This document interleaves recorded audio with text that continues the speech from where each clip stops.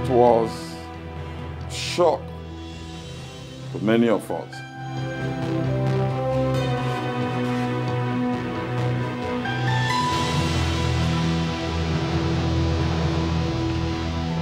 A woman very supportive of her husband. A woman, in fact, I would call her uh, two bedfellows. You cannot see Almira without seeing the wife. And the woman was mother to the motherless, mother to everybody, all they can Harry. She represents too many things to too, too many people. She was never discriminatory, always welcoming. Accepts and relates with everybody as if they are equals and as if they have value. She was a homemaker, you know, uh, a homemaker, caring, virtuous, you know, describe her by any standard. She's everything a man would look for in a woman. She's a great woman. She's so loving. She has this love like a childlike manner. I'll say that she's adorable. She's so amiable. I want to say that she's a woman to be emulated. If you're looking at a woman of God to toe the path that she took, she's an example of the believer.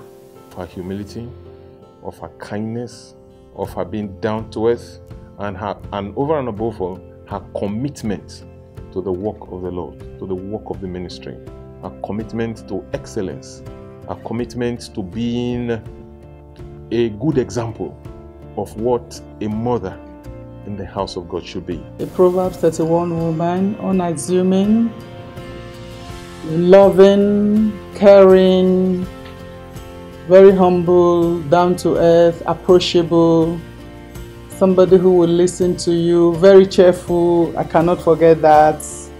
When you're talking with Mama Dorothy, she's all smiles and very encouraging. She's a woman that will always encourage you and very committed to the things of God.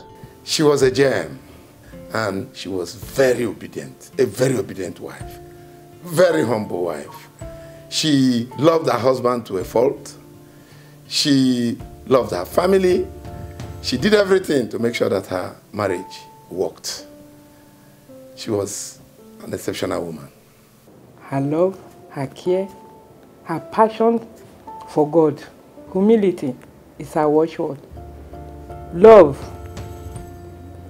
and the eagerness to serve God. She was a wonderful woman, very hardworking woman, very virtuous woman. And I believe that God has blessed her and God has helped her and she has left a lot of legacy behind.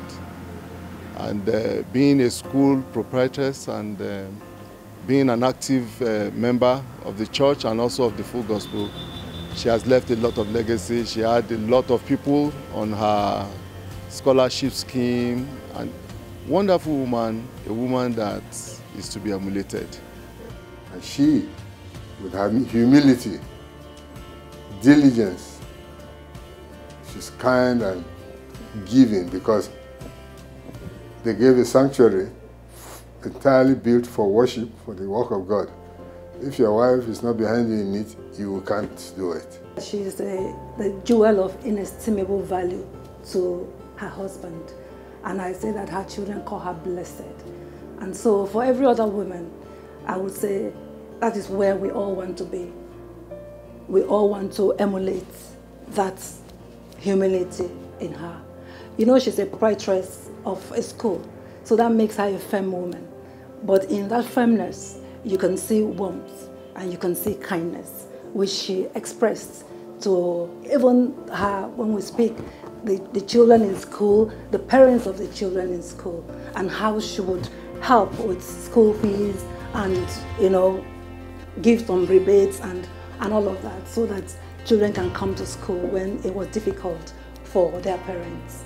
I would say that she is virtuous in all her ways, the pillar of the home, and indeed a homemaker that actually had made this very home most comfortable for all of us that are not only so close to the family, but within the neighborhood. She had a kind heart, and she had a willing heart. She had a very cheerful heart, very hospitable person. I'm talking about. Uh, we found her very easily approachable and uh, hospitable at all times. She served God and humanity. She's an encourager. She's a pillar of support for the home and other people. And she's a God praiser. She's a God celebrator. It's something everybody should do, should emulate. Mrs. Ebhaleme has been a pillar of support. She has been a constant person in our fellowship. I want to say the only elderly woman that attends our fellowship. And that's a great inspiration to the coming younger ladies around.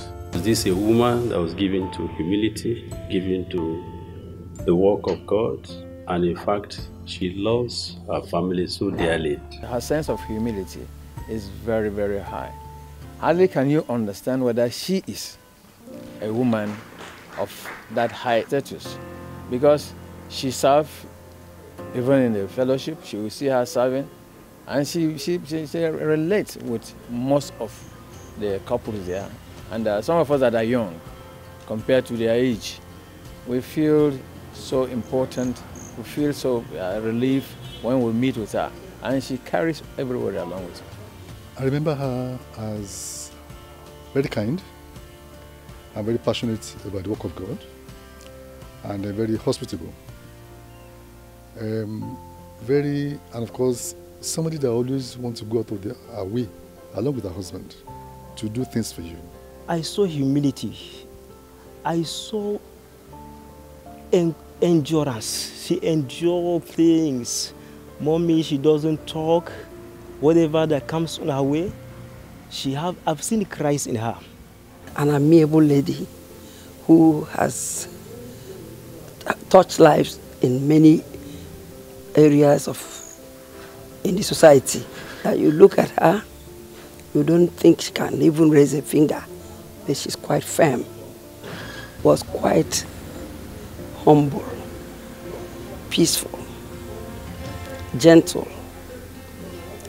She was a friend to most people who met her. She represents the apt description that behind every successful man there is a woman. She was really an Amazon that made Ebhaleme what she is. He is. Even in the book of Ebhaleme, which he wrote, from south to the castle, Ebhaleme reflected the fact that at the beginning of his life, she, he she was the one who shaped him. And Ebhaleme is a very respected member of the society. And both of them look like a couple that you cannot remove apart. He represents typical pure woman.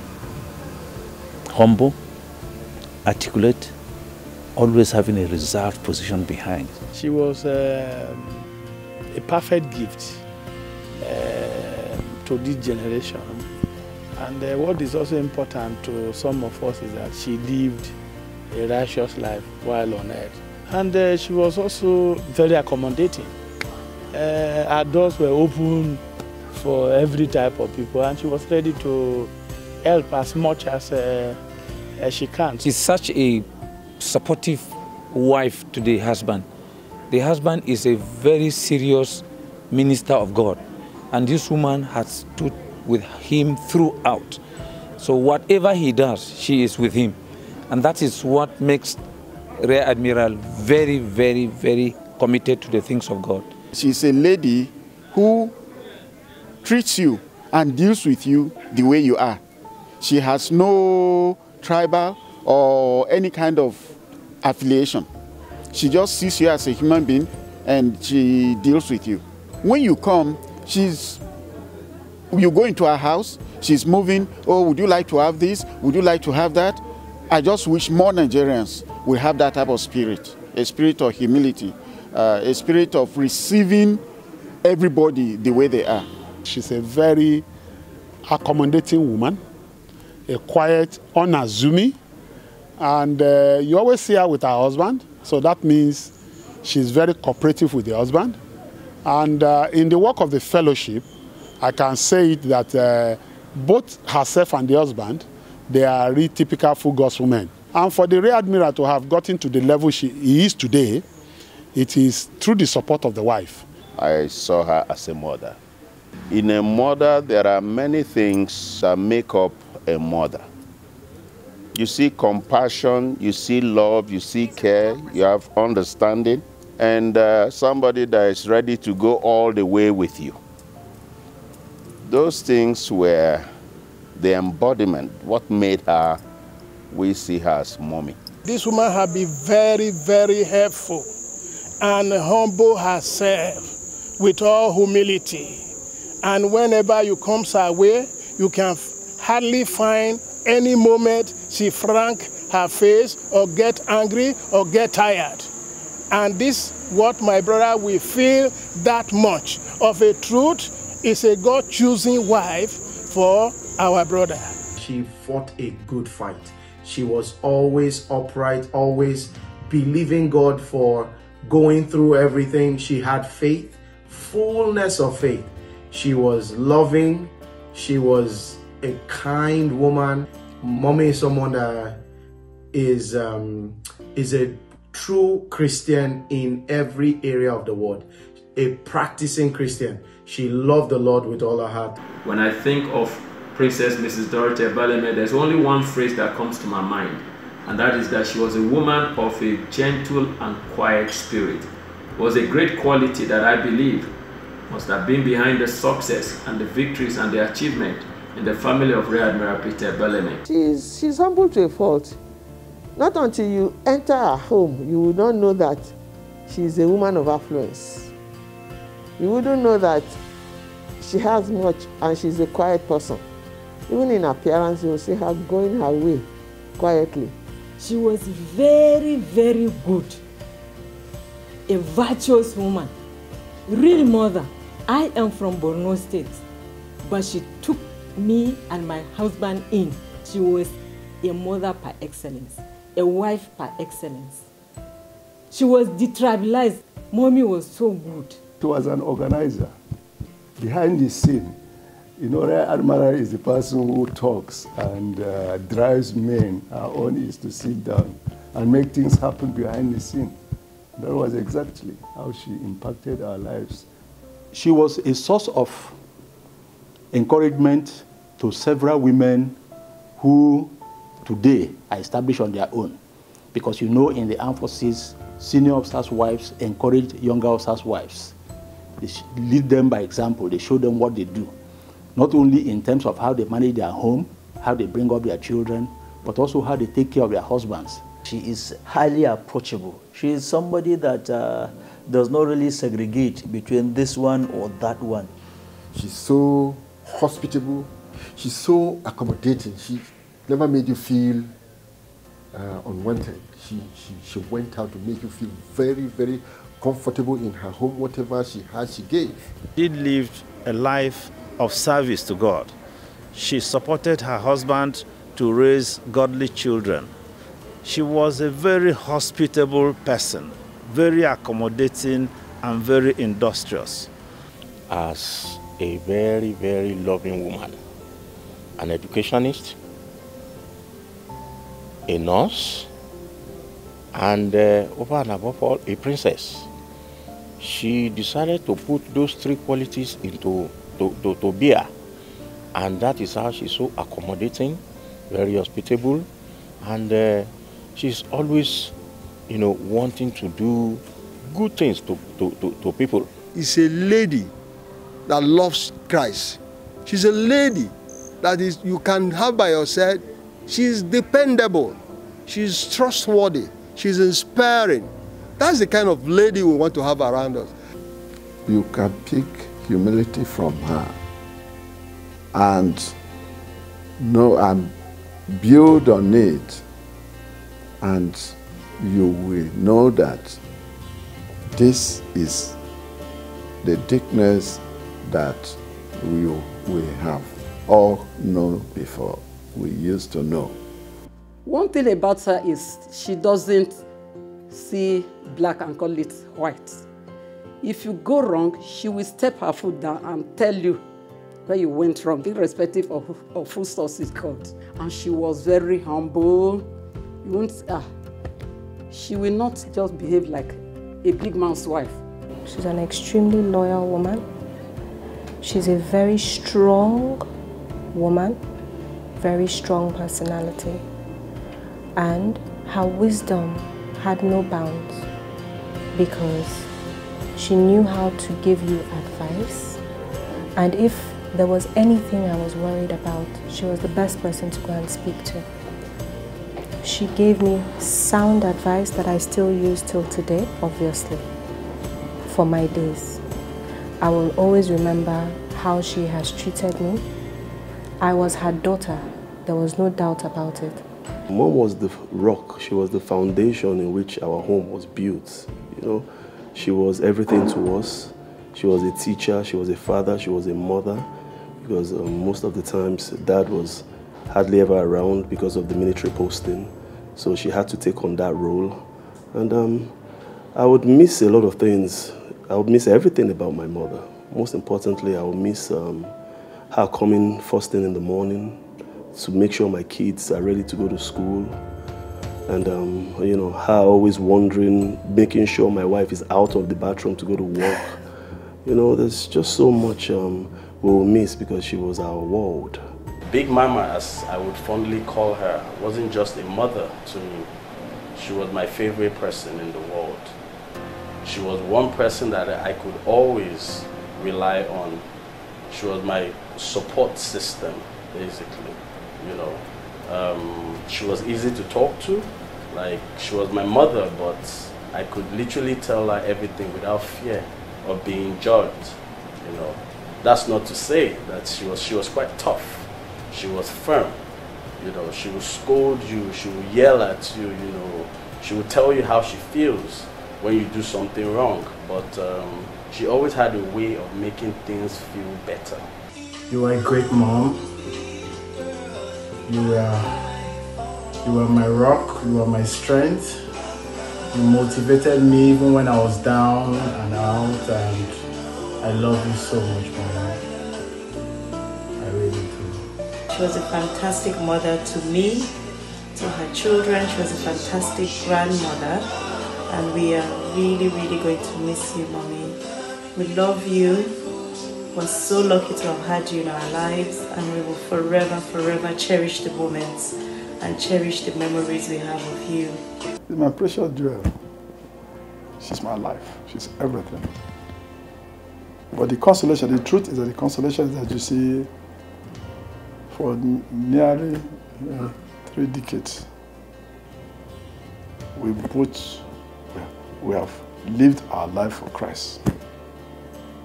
And um, I saw a fulfilled life.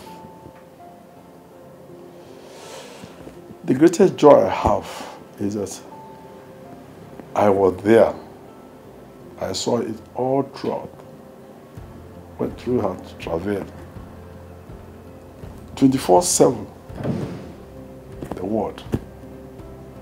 We could come to Domi which was about passing on. I never knew, but I, because we are all the time, well, no, faith. I knew that God, there's no situation God cannot reverse. And I know that uh, most of it after prayers, praise worship. We are just, are just praising God this time she's got stroke, she cannot talk. Sometimes when we finish, I say, to prove that she's hearing me, I say, squeeze my hand. She squeezes her hand. And then she's okay. And so we're just praising God. All of a sudden, I saw something like, from my direction. It looks like a light from my direction on the bed, acro across the bed, on the head. I, I wouldn't what to call it light or lightning. So it was a bright light. As I, I thought I, I stopped dancing, I went, squeezed my hand, Couldn't do that. The hand fell down. I knew the end was come. And uh, I called the nurse to confirm. She didn't talk to me. She didn't talk to me. She just went to call the doctor. And I was just dancing. I was rejoicing because I know what I saw. I alone saw it. No doctor, no nurse. I was, I was left there alone. And I knew that the Spirit left her in glory. I was still dancing. When the doctor, when they came, they were at the, the door. Four, four doctors, they waited for me. When I saw them, I stopped praising God. After, the, after they have finished their medical checks, they said, do I know what has happened? I said, of course, she's going to be with the Lord. Praise the Lord. The doctor said, do you say is is the husband? Because I saw her God in glory. Mommy, you showed us immense love and care, uncommon among women. We miss you, Mommy, and we know that we shall see you again. It would be a joyous reunion. We love you, but Jesus loves you the most. Continue to rest in the bosom of the Lord till we meet to part no more. Mom, will love you. We always will. We know you're in a good place. You're in heaven, you're watching over us. We just want you to know, which we already know you do know, that um, your legacy will live on. We would continue as a family. And um, all what you stood for, we just want to thank you for your love, your kindness. And um, thank you for everything you are. And we love you. The Lord will strengthen the family. The Lord will console the family. And the Lord will give them the fortitude to withstand the shock. Praise the Lord. It's such a wonderful time today celebrating the life of a late elder Mrs. Um, Dorothy Ebhaleme, who has been of great impact and blessing to quite a number of people here and uh, our world generally. Today, a lot of eulogies, commendations, and tributes must have been made on her. But I want us to pick some quick lessons on how she lived her life uh, by remarking that we should all be concerned about what we leave behind. Life is a period, and a short one for that matter, that all of us have to spend here. One day, no matter for how long, we'll all be gone out of here. But there are two vital things that are crucial. Number one is the name you leave behind. A person may die, but name does not die. Name represents integrity. There are names that, according to scriptures, is rotten. According to Proverbs chapter 10, verse 7, that the memory of the just is always sweet, but the name of the wicked will rot. I pray that none of us here today will have our names rotten. Today, Mrs. Dorothy Ebhaleme sounds sweet to the memory of all, beginning with our children and, of course, her husband and the entire large family, the community where she grew, and the church where she lived and served. The big question is what will you be remembered for? Name is better than fame. Fame cannot make a name, but name can give you high integrity rated name. Don't make money at the expense of your name. Don't make fame at the expense of your name. Don't make anything material at the expense of your name. Your name will take you beyond what your lifespan took you. So go for a name. Second lesson I want us to look at is on works. The Word of God tells us that when we no more hear, what remains is the works we have done.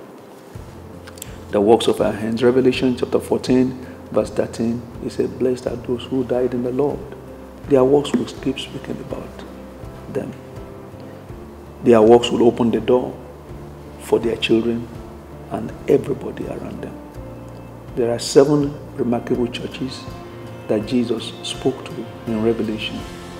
And of all the seven, all of them have one common denominator. Jesus said, I know your works. Repeatedly to each of these churches, Revelation chapter 2, verse 2, verse 9, verse 13, 19. And of course, in chapter 3, verses 1, 8, and 15. Specifically in verse 8, he said, I know your works. Therefore, as a result of your works, I will open doors to you which no man can shut.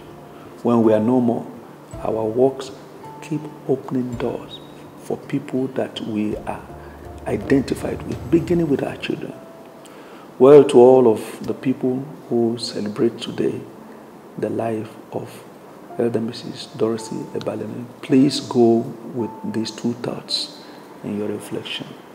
A good name, which according to scriptures, again in Proverbs 22, verse 1, and Ecclesiastes chapter 7, verse 1, better than gold, better than silver, better than anything you can think of in life. This is important, especially in this generation of deep corruption, where people have turned corruption to fashion within our nation and beyond. Please go for name. Register your name for the future of your children and let the works of your hand keep speaking. Name for integrity, works for impact. Are you impacting lives or you are consuming everything to yourself? Full of greed and selfishness? Let's go from here with this reflection today. I pray that God will bless every one of us and particularly the family left behind. Elder Peter Ebhaleme, a man dedicated, committed to the Lord and services of the church and humanity, and all of the children, their spouses, and grandchildren. The Lord will keep all of you as one family, and as you keep loving the Lord, following the Lord the way your mother did, please keep on the faith. Someday we'll meet together at the feet of Jesus.